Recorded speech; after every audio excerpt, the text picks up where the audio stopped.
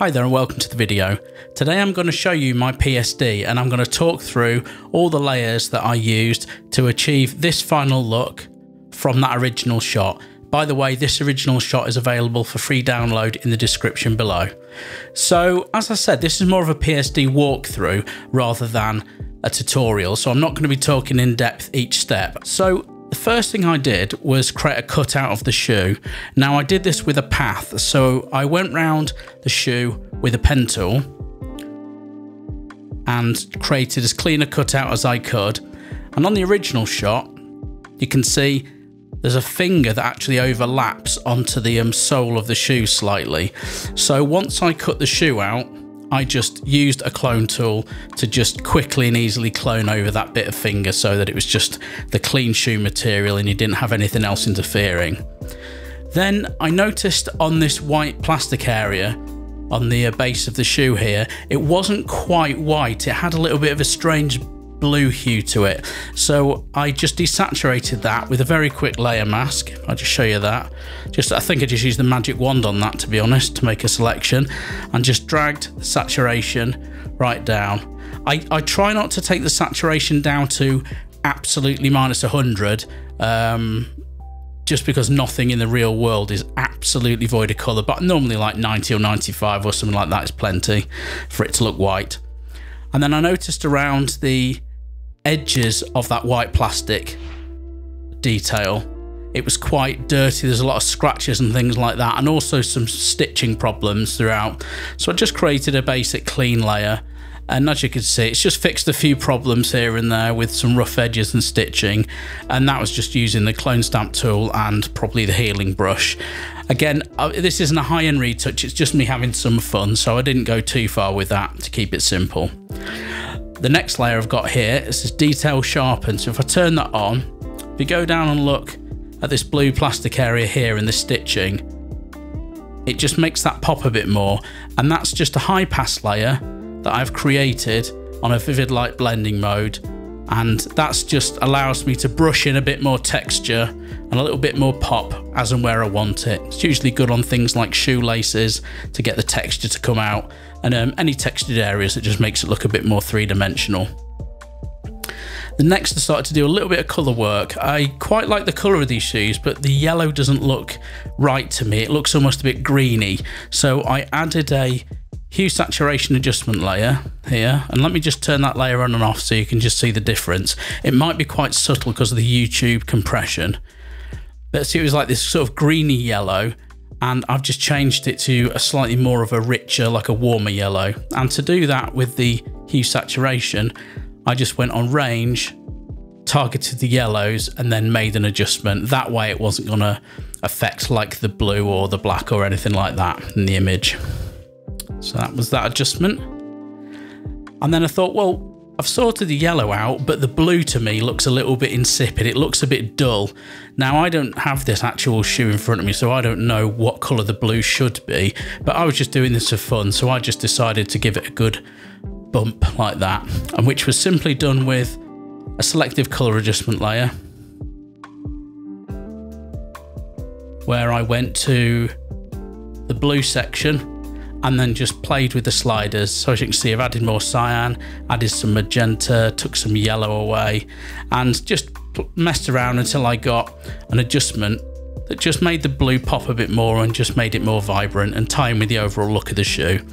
Now, it did affect everything on the shoe that it figured was blue, but what's happened is it's affected the sole of the shoe more than this detail on the side, this panel detail.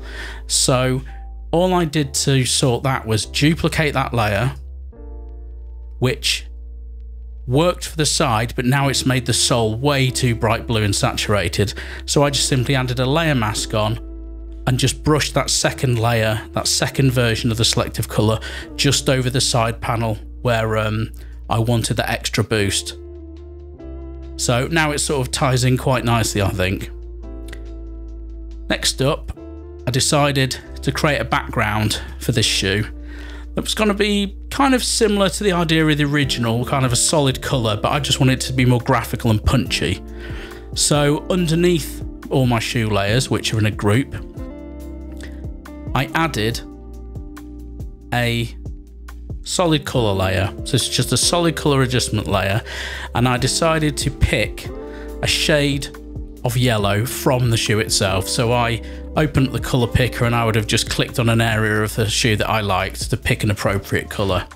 And then looking at it afterwards, I added a color balance adjustment layer, which just tweaked the color slightly. I was just playing around and what I tend to find is if you if you're like 99% happy with a color and you just want to see what a little variance can do, um, I always advise adding another adjustment layer on the top instead of adjusting the original one. That way you can play around a little bit more with um, play around a little bit more with the color. So I just took a bit of green out of that, which is similar to what I did with the shoe earlier. Okay, so just a tiny tweak. And then this, I added a spotlight behind it or a spotlight effect, which just gives it a glow, but it also separates it from the background um, because that's the only tricky thing when using similar colours to the background as the product to sort of tie them in is you lose that separation. And this is where something like a simple little spotlight can work. Now, if I just turn the shoe off you can see all it is is a big soft white brush basically. So I pressed B for my brush tool, made a very large, very soft brush with white as my colour, and I just clicked it down behind the shoe and then just lowered the opacity because at full opacity it looks like that which is too much. But if you, if you have it too low the shoe starts to merge into the background. So I felt on this about 50% was quite good. In fact I think I did 55 okay. And then the layer on top of this you can see is called grain. And all that is is a grey layer set to soft light and then with filter noise add noise applied to it. So added some noise to that. And what that does is it helps to avoid and combat any banding that you can introduce by creating gradients. Like we've created a gradient by having this soft white brush on top of the yellow, and sometimes it can the colours can break apart a little bit, and the grain layer can just help with that. Um, plus, also it just helps to make it look a little less digital and a little more sort of quote unquote analog and not so perfect. And by the way, the way to create that grey layer is you just create a blank adjustment layer and go to image, no, sorry, edit, fill, or you could use the shortcut shift and F5. And then when you do that, you just select grey from the fill layer and click OK. Then change it to soft light and add your noise.